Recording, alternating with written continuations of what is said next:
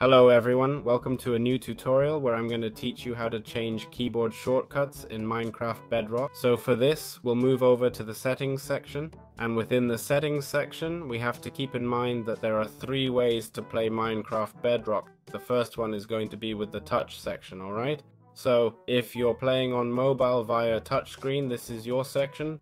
If you play using a controller, like on a console, this will be your section, alright? And if you play with a keyboard and mouse, like in my case, this will be your section. They all work more or less the same. And basically what you have to do is attack and destroy. Button 1, basically the left click. Grab a block. Button 3, okay? Well, button 3, which is the middle wheel. To use an item or place a block. Button 2, okay?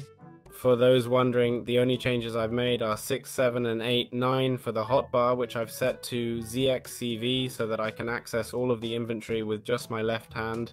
Well, the entire hotbar. Next, the F5 that is used to change perspective. I've got it on F, okay, and I've got control and shift swap. Normally shift would be for crouching, but I use it for running, and control is usually for running, but I use it for crouching. And beyond that, I think nothing else, okay? So that's it for this video. Feel free to set it up as you wish, and see you in future videos.